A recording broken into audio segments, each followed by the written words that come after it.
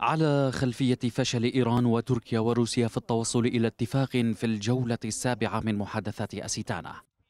تشهد الجبهات بين النظام السوري وهيئة تحرير الشام التي تقودها جبهة النصرة تصعيدا عسكريا ممنهجا في ريفي حما وحلب. رافقه قصف جوي مكثف من قبل طائرات النظام على مواقع النصرة في تلك المنطقة. وتتركز الاشتباكات في مناطق المحطة الحرارية وحلفاية وصوران وحاجز وقرية الزليقات فالمعركة الدائرة بين النظام والجبهة المدعومة تركيا اتسمت بعمليات الكر والفر والسيطرة المتبادلة والهجمات المعاكسة بين الطرفين. ترافقت مع تنفيذ طائرات النظام لأكثر من 700 ضربة جوية استهدفت القرى والمناطق التي تسيطر عليها الفصائل وتحرير الشام.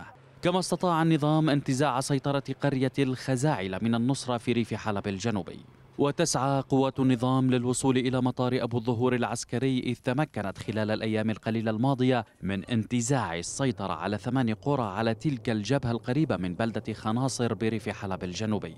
وفي السياق ذاته نشرت وسائل الإعلام صورا تظهر عناصر إحدى المجموعات التابعة للنصرة والمعروفة باسم جيش النصر وبيدها مضادات الدروع تاو 71 الأمريكية الصنع ربما حصلت عليها من إحدى الدول القائمة على مائدة أسيتانا التصعيد العسكري الزئبقي على هذه الجبهات مؤشر على حجم التوتر الذي تشهده العلاقات بين الدول الراعيه لمحادثات اسيتانا تصعيد جاء على خلفية تحايل تركيا على بنود الاتفاق الخاص بتواجدها العسكري في إدلب.